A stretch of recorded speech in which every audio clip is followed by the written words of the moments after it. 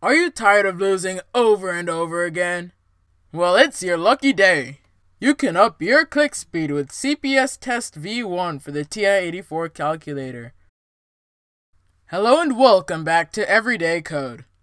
Today, I'll be showing you a clicks per second test for the TI-84 calculator. The start timer function will, well, start the timer. I'll store the output of this function into the variable t. The hardest part of the program is creating the 5 second delay. I did very extensive research, and I found that the best way to create a 5 second delay was by using the for command. I found that the interval 1 through 50 produced about a 2 second delay. Doing some simple math, I realized that the interval for a 5 second delay would be 1 through 125. During each loop of the for command, the get key will record any key presses. Then, I can store the number of clicks into the variable c.